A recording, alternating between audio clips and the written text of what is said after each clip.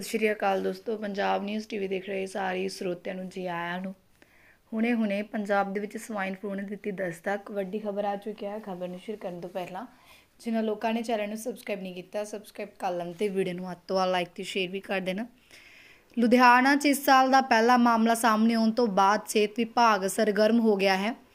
ਹਸਪਤਾਲਾਂ ਨੂੰ ਐਡਵਾਈਜ਼ਰੀਆਂ ਜਾਰੀ ਕਰ ਦਿੱਤੀਆਂ ਗਈਆਂ ਨੇ ਅਤੇ ਫਲੂ ਕਾਰਨਰ ਸਥਾਪਿਤ ਕਰਨ ਦੇ ਨਿਰਦੇਸ਼ ਦੇ ਦਿੱਤੇ ਗਏ ਨੇ। ਨਾਲ ਹੀ ਆਕਸੀਜਨ ਦਾ ਸਟਾਕ ਪੂਰਾ ਰੱਖਣ ਦੇ ਲਈ ਵੀ ਕਿਹਾ ਗਿਆ ਹੈ।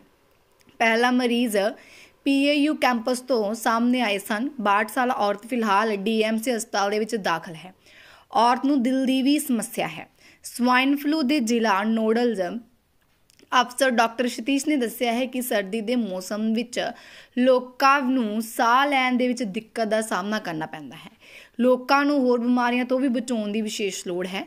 ਸ਼ਹਿਰ 'ਚ ਸਵਾਈਨ ਫਲੂ ਦਾ ਪਹਿਲਾ ਮਰੀਜ਼ ਸਾਹਮਣੇ ਆਉਣ ਤੋਂ ਬਾਅਦ ਵਿਭਾਗ ਦੇ ਵੱਲੋਂ ਅਲਰਟ ਮੋਡ ਤੇ ਹੈ। ਬਾਕੀ ਖਬਰ ਨੂੰ ਅੰਤ ਤੱਕ ਦੇਖਣ ਲਈ ਤੁਹਾਡਾ ਬਹੁਤ ਬਹੁਤ ਧੰਨਵਾਦ।